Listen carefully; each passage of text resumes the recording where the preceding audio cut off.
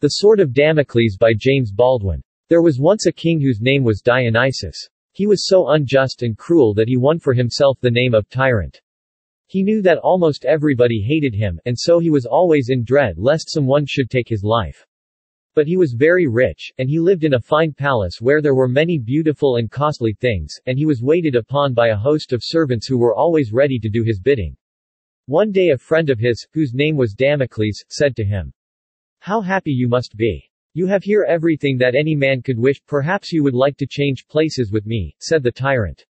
No, not that, O king, said Damocles, but I think that, if I could only have your riches and your pleasures for one day, I should not want any greater happiness. Very well, said the tyrant. You shall have them, and so, the next day, Damocles was led into the palace, and all the servants were bidden to treat him as their master.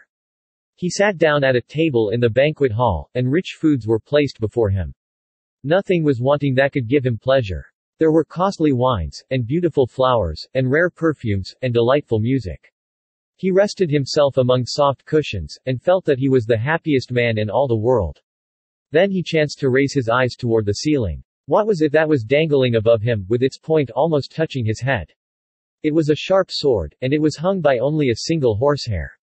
What if the hair should break? There was danger every moment that it would do so. The smile faded from the lips of Damocles. His face became ashy pale. His hands trembled. He wanted no more food, he could drink no more wine, he took no more delight in the music. He longed to be out of the palace, and away, he cared not where.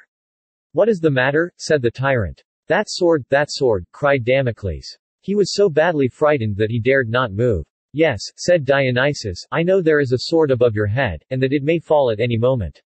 But why should that trouble you? I have a sword over my head all the time. I am every moment in dread lest something may cause me to lose my life, let me go, said Damocles.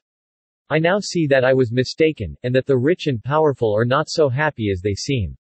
Let me go back to my old home in the poor little cottage among the mountains, and so long as he lived, he never again wanted to be rich, or to change places, even for a moment, with the king.